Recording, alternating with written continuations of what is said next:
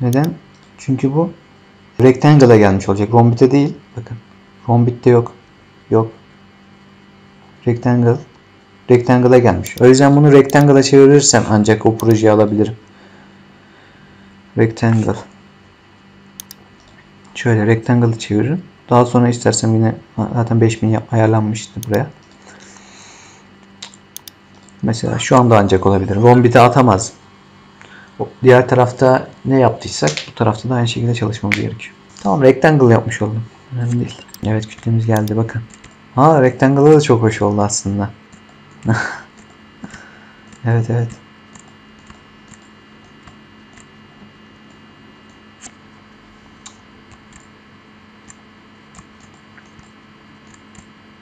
Tamamen sizin çelik konstrüksiyonunu tasarlama becerinize kalmış. Yani bilgiyi öğrenirsiniz zaten. Tasarım önemli bence. Şu fazlalıkları da tava basarak silebilirsin. Parça parça geliyor zaten. Bakın burası gitti.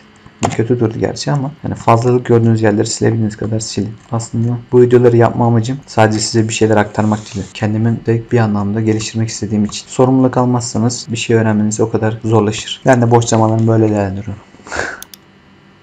Şimdi yapmamız gereken burada bakalım şeylerimiz gelmiş olması gerekiyor. Bakın kodlarımız zaten belli. Şu üst kütlede edit type'ına bakarsak daha önce yapmış olduğumuz bakın cam, çelik çerçeve olarak gelmiş ama kategorilerini burada da aynı şekilde yani cam yapmak istiyorsak cam yapalım burada da mesela. O böylelikle değiştirmiş olacağız. Parametrelerimiz var zaten. Burada cam diyorsak e, ne yapalım? Glass seçeneği. Glass'tan istersek bir şeyler seçebiliriz burada. Bakın home sekmesinde glass seçeneği var burada. Buradan istediğimiz e, cam yüzeyini seçebiliriz. Renklerini ayarlamak istiyorsak daha çok materyalini falan. Burada asıl kütüphanesi var bunun. E, Appearance Library'nin altında yine materyal seçenekleri var. Burada Glass'ta mesela çok farklı renkte ve yüzeyde cam seçenekleri var. Buradan mesela ben ne seçeyim? Clear Blue genelde seviyorum. Bunu seçeyim. İki kere tıkladım. Şöyle. Diğer tarafta da gelmiştim zaten. OK dedim. OK dedim. Bakalım nasıl olacak. Ve bunun gerçek görüntüsünü görmek için realistik yapmanız gerekiyor. Evet geldi şu anda bakalım. Realistikte bakalım nasıl göreceğiz.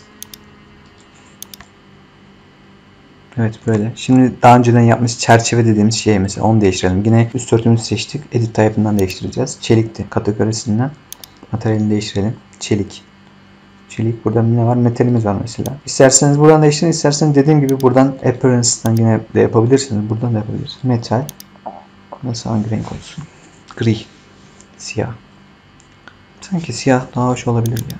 İki kere tıkladım. Şöyle bir renk.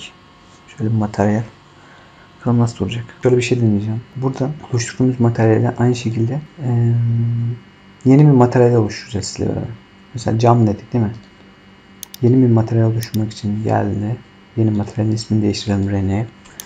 Cam. Şimdi buna materyal atamak için kütüphanemize gidiyoruz. Glass. Clear Blue. Böyle daha iyi olacağını düşünüyorum. Yine aynı şekilde bunu da çelik yapacağımız için yeni materyal atadık. İsmini değiştirelim. Çelik. Yani parametre oluşturmuştuk onu.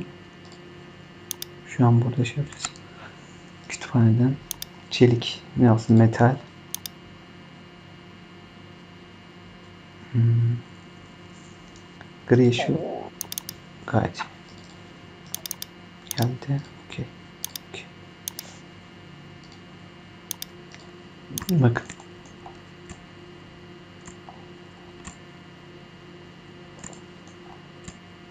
Kibar oldu aslında.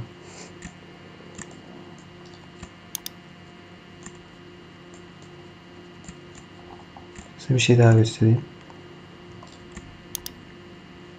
Bakın. Şu giden açıyı değiştirebiliriz. En altta bakın component rotation var. Burada e, 90 yaparsak ne olacak? Bakın gördüğünüz gibi açı değişti. Bu açıyla oynayabilirsiniz. İstersek ne yapalım? 180 yapalım. Bunu 180 yapalım. 180 yaptığımızda da böyle bir görüntü. Yani dediğim gibi açısıyla oynayarak isterseniz şu yüzeyde şöyle bir çelik profil oluşturabilirsiniz. Şimdi devamında yapmak istediğim şey şu. Bunu bir gizleyelim. Bakın şurada boşluklar var. Bu noktalara da ee, bir spline yani açık yüzey kalmamış olacak bunu yaparsak. Amacım açık yüzey kalmaması. Seçtim. Şimdi parça parça seçeceğim yüzeyle. Tab yaptım. Divide path yazıyor. Divide, path'ten mesela burada referans noktamız 12 tane olsun. 12 tane referans noktası atadık. Aynı şekilde diğer parçaları da ekleyeceğiz. Divide path. Bunu da 12 yaptım. Aynı şekilde şunu da seçeceğim tabla beraber. 12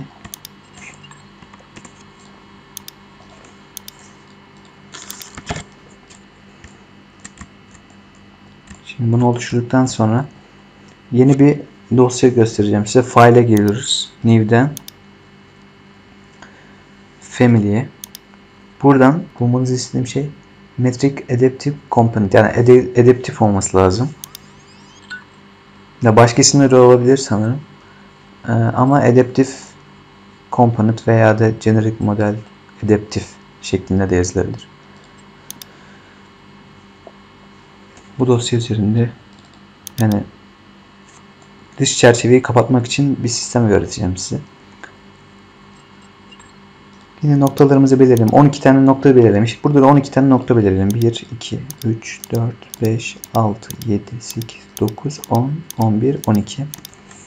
Bu sefer bu noktaları seçip e, Make Adaptive yapıyoruz. 3D'de bakalım.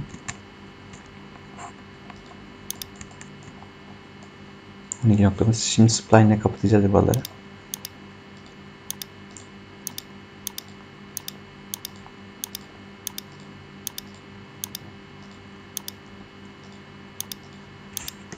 Bitti.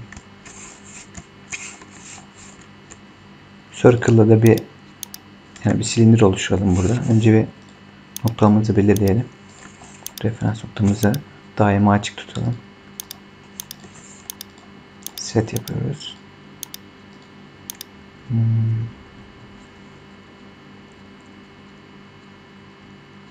Dışlardaki çizgi kaç yapmıştık? 100, 200 yapmıştık. Bunu da bunu da Bu arada burası hangi sistemde çalışıyor onu da kontrol edelim. Milimetre. Tamam.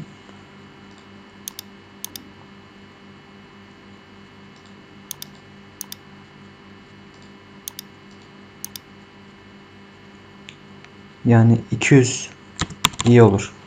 Çünkü 200'de çalışmış diğer tarafta sanırım. Öyle hatırlıyorum. Gördüğünüz üzere. Şimdi bu çubuğu yani çelik profil ya da ne, diye, ne dersiniz. Amacım şuradaki açık olan yüzeyi de kapatmak. Yapmamız gereken gene loop in the project yapacağız. Loop in the project'ten family 2 dosyasının içine alacağız. Okey. Family 2 dosyasının 3D'sine gelmem lazım.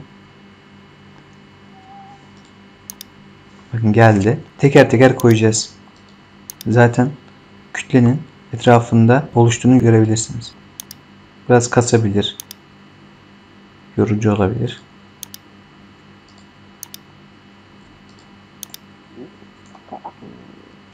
Her noktayı seçmeyeceksiniz bu arada. Yanlış yaptım mesela ben. Ee, sadece mavi noktalar, yani belirlediğimiz referans noktaları 12 adetti çünkü. Tam olarak yerleşebilmesi için öyle yapmamız gerekiyor. Mesela yanlış daha demin yaptım.